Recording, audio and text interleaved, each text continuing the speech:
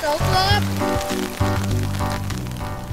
ได้มาทำเกี่ยวกับท่องเที่ยวริบงนานหรือยังคะนานแล้วครับตั้งแต่อายุกี่ขวบคะประมาณห้าขวบครับตอนนี้ทำอะไรได้บ้างขับเรืออะไรได้ไหมขับเรือได้ครับ แล้วก็พานักท่องเที่ยวมา มาเที่ยวทะเลครับ ที่มาชมวันนี้เขาเรียกว่าเป็นนกอะไรคะนกกระยางเลยครับ จะวางไข่ที่นี่บ่อยไหมคะบ่อยครับมันจะ มาที่วางไข่ที่นี่บ่อยครับ เยอะไหมคะ เยอะครับ ทีหนึ่งหลายรังไหมคะ ทีหนึ่งไม่ต่ำกว่า 20 รัง ภูมิใจไหมคะ ได้เป็นไกด์เด็กพานักท่องเที่ยวมา ภูมิใจครับ